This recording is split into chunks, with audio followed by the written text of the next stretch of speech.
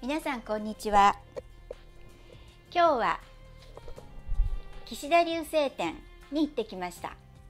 38年という短い生涯でありながら日本の近代美術の歴史において最も独創的な道を歩んだ孤高の洋画家岸田流星。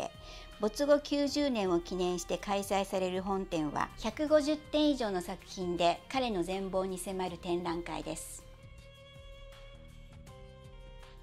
えーと、岸田流星展というと、まあ、過去何度もやられているものなんですね。でただその中で、えーと、今回は、えー、京都市美術館学芸課長の、えー、山田聡さんというあの学芸員の方がですね、えーと、修士論文のと、まあの要するにも学生の時から研究されていたもののあの、まあ、集大成のいうというような形で、えー、展覧会が構成されています。ということであの、まあ、非常にその、えー、彼の研究の成果というもののが、えー、見られるということでもあの非常に面白かったという展覧会です。で、えー、何がすごかったかって、まあ、今回初めて知ったのは、えー、岸田流星という人は、えーとまあ、近代の洋画家の中でその完成した作品に制作年月日というのを必ずほぼあの全部入れているというようなそういう画家なんだそうです。ということなので、まあ、今回、えー、展示されている作品というのも最初から最後までほぼあの描いた彼が、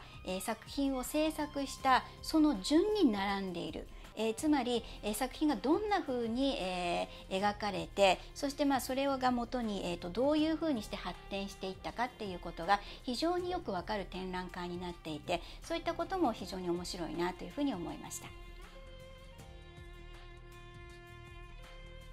えーと、岸田流星という人は、まあ、38年の短い生涯を生きた人でした。でその間に、えーとまあ、黒田清輝のようなまずその外交主義といったものから始まりまして、えーと、後期印象派、まあ、ゴッホですとかそういった後期印象派っぽい作品を描き始めそれから、まあ、写実的な作品を描くようになりましてその後あの、まあ、デューラーとかね、えーと、そういったその自分があの、まあ、非常に興味を持った北方ルネッサンスの画家たちに習った作品を描きます。でその後なんですけれども、まあ、中国の草原画ですとかそれからあとその日本の初期肉筆浮世絵といったものなんかを、えー、習いながら、まあ、それをあの、まあ、自分の糧としましてまた自分なりの作品を描いていくというようなことをした人でした。で、えーと、そういったものというのはあのその山田さんによりますと,、えーと、単なる、えー、模倣ということではなくって非常にその彼自身が、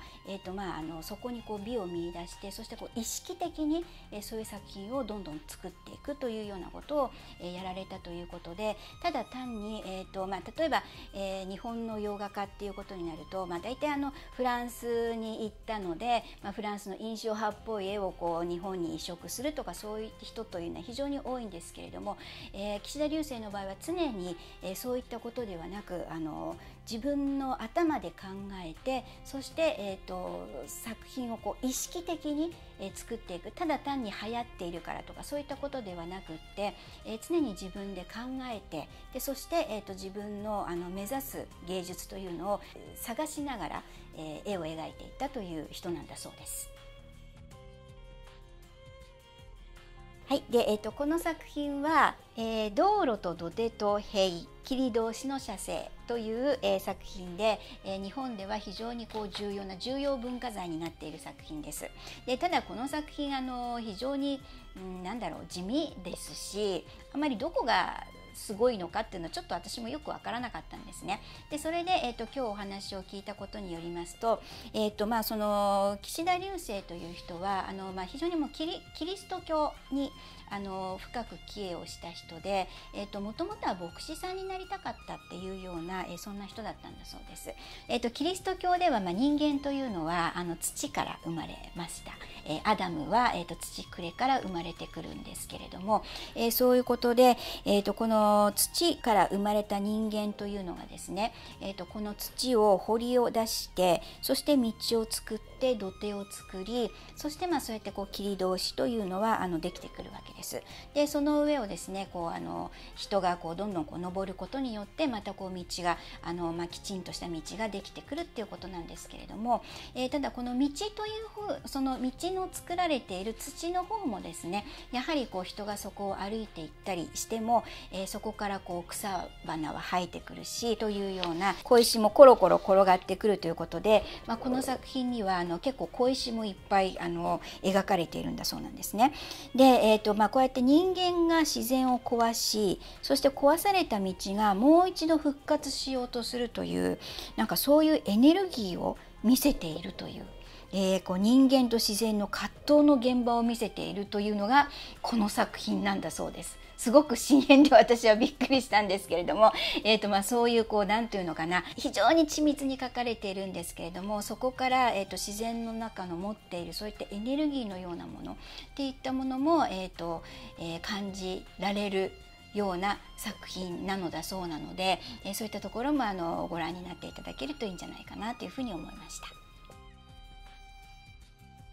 えーと、私は実はあの岸田流星の作品の中では、えーとまあ、玲子ちゃんはもちろん好きなんですけれどもあとあのこの生物っていうのも結構好きなんですね。で、えーと、例えばこの生物の中でも壺の上にリンゴが乗ってあるという、えー、作品がすごく面白いんですけれども、まあ、なんでこんな風に壺の上にリンゴが乗っているのかっていうのはちょっと誰もが思う謎な絵なんではないかと思います。でこの作品についても、えー、と山田さんがお話ししていたんですけれどもなんでリンゴが載っているのかっていうのは、えー、まあ、誰がここに載せたのかっていうことを、まあ、問いかけるなぜあなたはそこにいるのというあの存在論を問いかけるというあのなんかものすごく深遠な作品なんだそうなんですね。で、えーとその隣にですねえーと、この置いてある手というのにはあの左手の薬指にあの指輪がはまっているので、まあ、これは結婚指輪ということですので、まあ、あの岸田流星があの結婚した、えー、妻の茂の手がここにあるわけなんですね。でこれはその、まあ、キリスト教的な、えー、考えで言えば、まあ、一応、まあ、神の手っていうことをあのどうやら岸田流星的にはあの想定しているようです。でその隣にですね、えーと、リンゴが3個、えー、描かれた作品というのが出てくるわけけなんですけれども、えーと、そうすると、まあ、これはその、えー、流星と、えー、妻の茂とそして玲子のこの3人の、あのー、家族がここに描かれたということでこの、えーと、一連の作品を描くことによって岸田流星がその自分の家族ができるまでの、まあ、生命の神秘というか、えー、そういった物語をですね描こうとしていたというようなことができるそうです。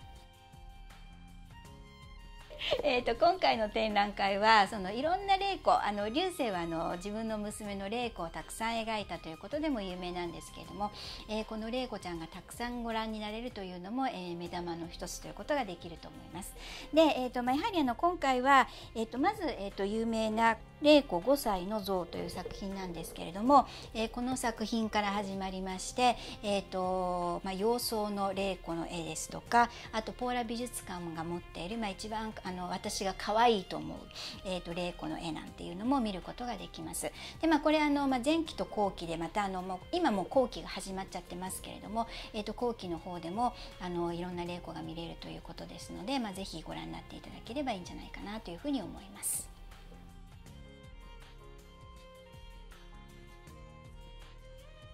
でこの後なんですけれども、えーと、岸田流星は京都に行きましてでそしてまあそこであの歌舞伎ですとか浮世絵ですとか、えー、日本画の制作にも取り組むようにもなります。した。でそして最後に、えーと、岸田流星は満州に行きましてでその帰ってきてからあの、まあ、山口であの、まあ、亡くなってしまうという、まあ、あの急逝してしまうということになってしまいます。でそしてまあ38歳という短い人生を終えるわけなんですけれども、えーと、この新しあの最後の風景画というのも、まあ、実はあのこれから流星がえー、何かを見つけ出そうとして新しいあの洋画にまたあの第一歩を踏み出そうとしていた頃の作品ということができるそうなんです。えー、なのでもしもしあの流星がこのままあの生きていたら、えーと、この作風がまたどういうふうになっていたかっていうのもあの非常にあの興味深い作品であるということを言われていました。